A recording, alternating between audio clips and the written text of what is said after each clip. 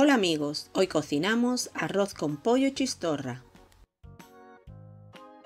Aquí tenéis los ingredientes, también podéis verlos más abajo en la caja de información. Vamos a empezar picando la cebolla, los ajos y el pimiento bien pequeñito. Lo ponemos en un plato y lo reservamos.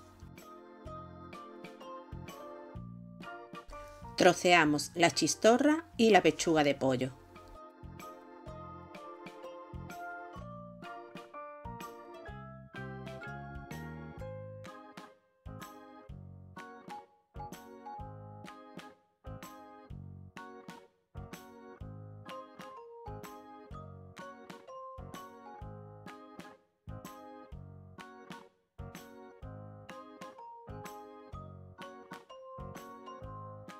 Las cortamos en trozos de bocados. Cuando ya tengamos lista la pechuga de pollo, la salpimentamos.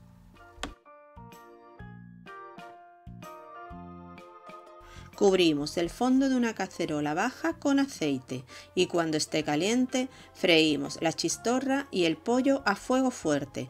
No queremos cocinarlo, simplemente dorarlo.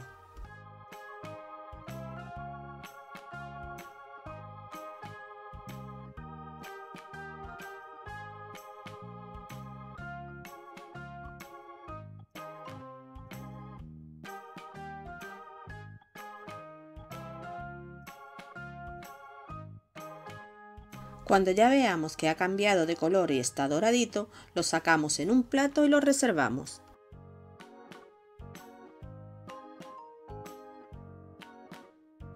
En ese mismo aceite, pero con el fuego bajo, sofreímos la cebolla, el pimiento y el ajo.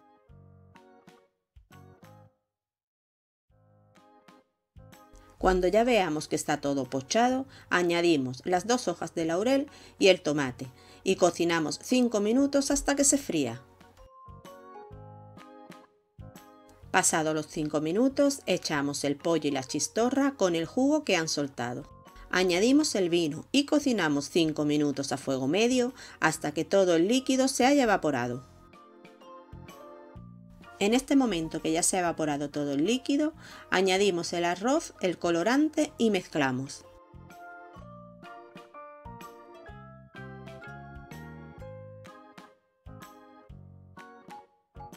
Incorporamos el caldo de pollo y un poco de pimienta.